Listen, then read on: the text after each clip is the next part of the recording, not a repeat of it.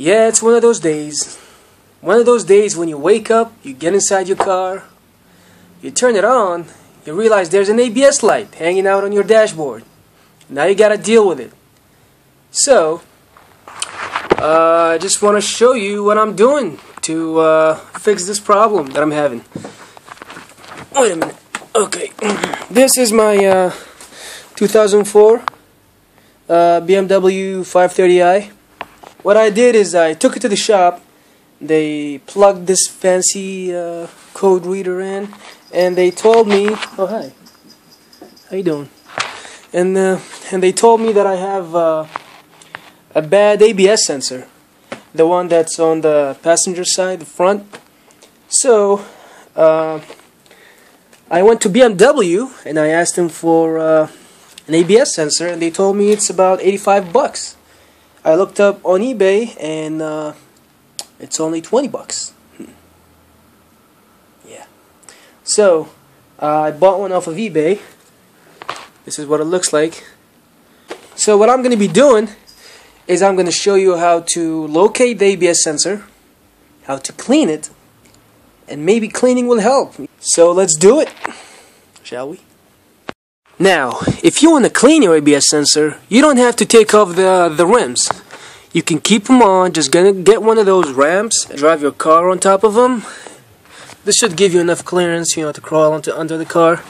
And once you do that, uh, just crawl under the car and you'll find the ABS sensor is right there.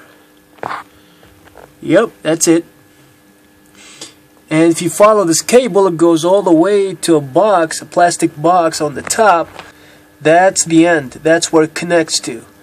And it's just basically a plastic box, and uh, you open it up, and um, you just plug the new one in. It's uh, easy and simple. I'm surprised actually they made it that simple on BMW. They usually really complicated. I mean, you know but whatever. So I'm gonna go ahead take this one apart, take the one on the other side apart, clean them both, and uh, let's see if that removes the codes. And actually, while I'm down here, I just realized that I have a busted uh, sway sway bar link. Awesome. Just more money to spend on this car. Okay, that's uh. Ah, damn it. I'll deal with this later. Anyway. Back to the ABS sensor. Let's do this.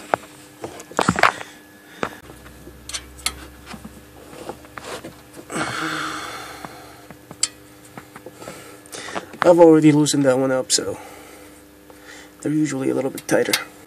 There we go, that's better.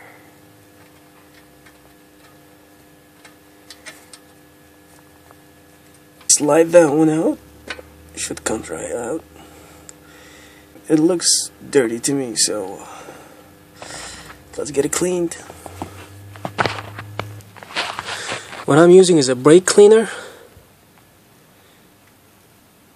and uh, just a clean rag. I'm using a, an old shirt that I'm not using anymore, so just spray it on the shirt and wipe the, the brake sensor off and you should be good to go. So now that it's nice and clean, you can go ahead and put it back where it belongs. And make sure to use the Allen wrench to tighten it back up. You know, you don't need press too hard. So, just a little bit should be enough. Okay. We should be good on this side. Let's move to the other side.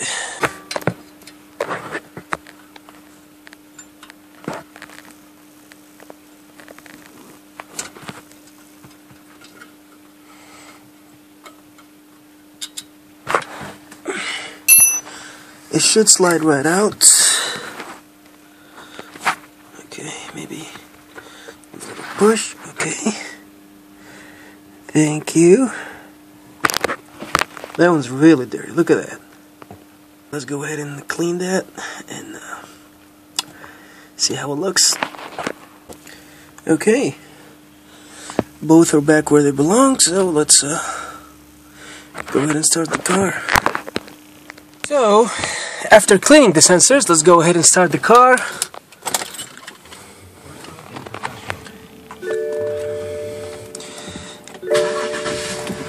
And no codes.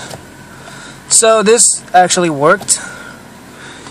And uh, what they did before is the I would drive it for a while and it would turn off and then the next day would turn back on so it could turn back on I'm not sure but if it does I'll just go ahead and replace it so uh, if it happens to you just give that a try you know just try cleaning them up don't let it scare you it's not that complicated say hi hi Bella say hi Psst. yeah she doesn't give a shit she does not give a shit. Look at that.